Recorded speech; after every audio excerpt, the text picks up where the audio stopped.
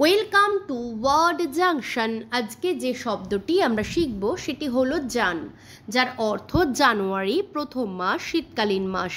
First example Jan is looking forward to her vacation in July যার অর্থ Jan জুলাইয়ে তার ছুটির দিনগুলির অপেক্ষায় রয়েছেন। Second example Jan and Mike decided to collaborate on the new project যার অর্থ জান এবং মাইক নতুন প্রকল্পে সহযোগিতা করার সিদ্ধান্ত নিয়েছেন। এই ভিডিওটি ভালো লাগলে ভিডিওটিকে লাইক করে চ্যানেলটিকে সাবস্ক্রাইব করে আমাদের পাশে থাকবেন। ধন্যবাদ।